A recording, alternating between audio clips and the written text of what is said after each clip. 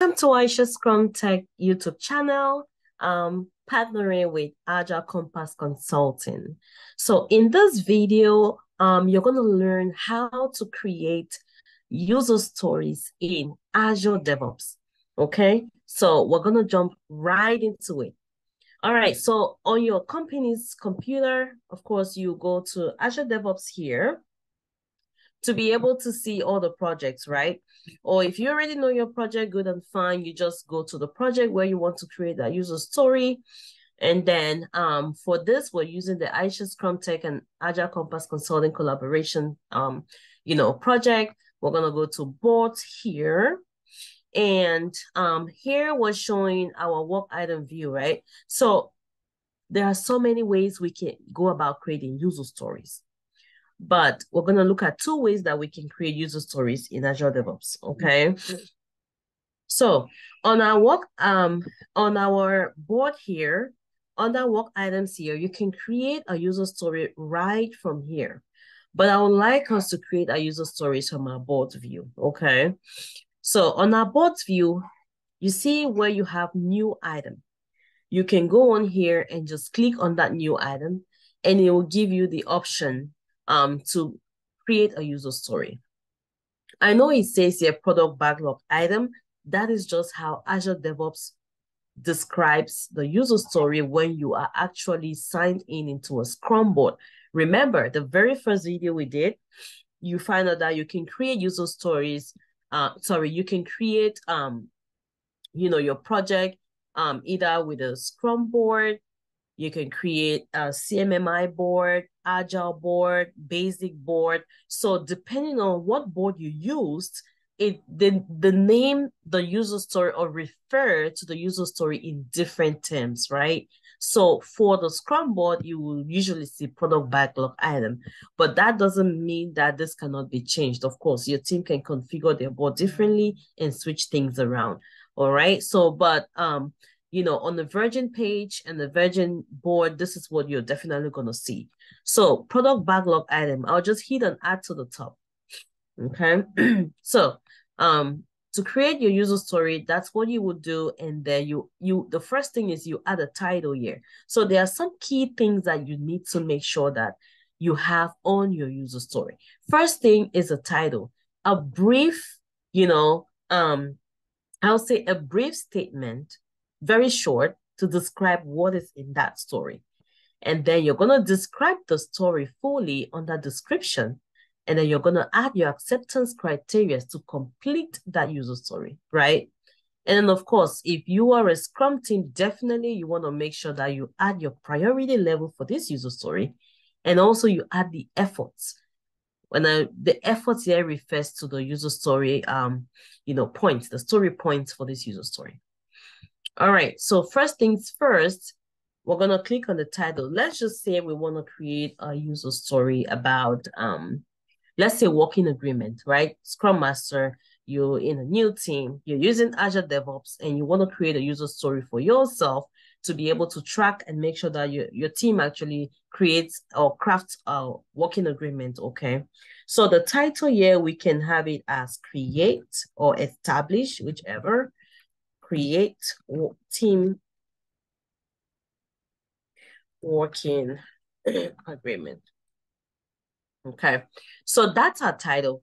Anybody who looks at this title will understand what this user story is about. That's the essence of that uh, title bar, okay? And then for the user story, um, we all know, you know, the technique in which we write a good user story, where we capture who the story is actually who is going to benefit from this user story, right? The who, and then what that story is about. What are you building? What are you making? Okay. And then the why. Why are we creating this user story? Why is it important for us to create this user story for this um, you know, user, right? So for example, I'll say as a scrum master, okay, as a scrum master, I want to establish a working agreement with my Scrum team, right? Working with a Scrum team in my Scrum team to ensure clear communication. Okay, we want to be able to make sure that communication is clear, collaboration is effective, setting clear expectations, right? Basically, um, collaboration and a shared understanding of our norms, something of that nature, and a, a shared understanding of our norms. Norms here, we mean rules, right? All right, so this could be a working agreement. So as a Scrum Master, that's the who, okay? I want to establish a working agreement. Working agreement is a what? To uh, with my Scrum team to ensure clear communication, collaboration, and shared understanding of our norms. So that's our why, right?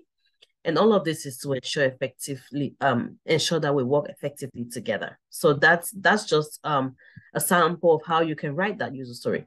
And then what could be some of our acceptance criteria, for example? How do we know that this is done, right?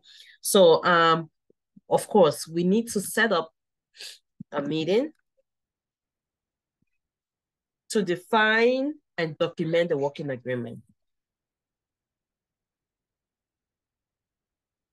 To define and document our working agreement. okay. What's the second thing we can think of doing um during this session to ensure that you know um this is actually done? We need to include key aspects. Include key aspects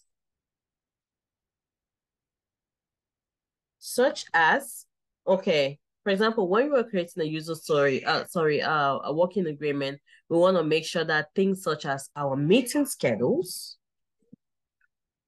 meeting schedules, um, communication channels, team value, expected response time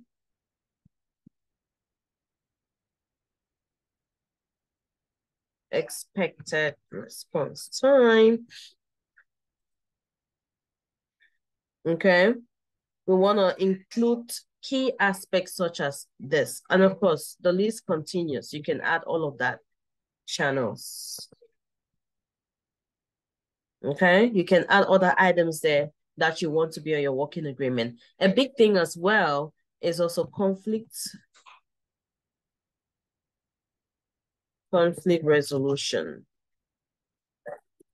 So I can say something like, mm, let's say address conflict resolution in your working agreement. All right. And then another thing could be ensure the working agreement is um, accessible. Of course, we want to make sure it's accessible. It's somewhere where everybody can see it. All right.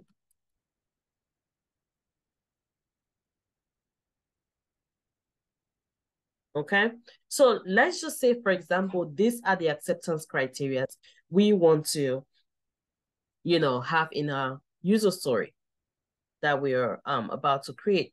All right. So now we're going to set the priority of this. We can set the priority as a one, which means it is really important. We want to do it like make sure we do it like the sprint. This is part of our goal for the sprint. And um, I know when it comes to effort for this, of course, the team is using their time to create this. If your team doesn't actually uh, give out, you know, some capacity to account for meetings, um, I will definitely go ahead and add efforts to this one because the team is going to be involved in this.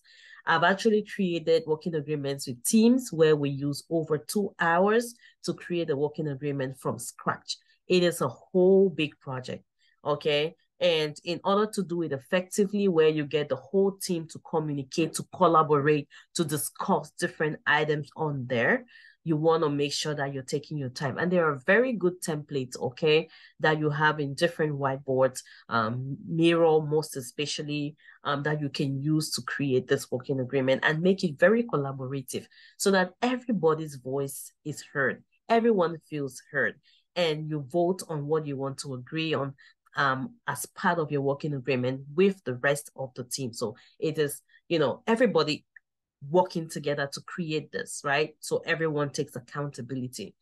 All right, so you can decide to add that story point here or not. It doesn't really, you know, it just depends on how your company works or your team works. So let's just say for every user story, we all know that we need to add the, you know, the story points to it, especially if it's a story that the team is going to work on.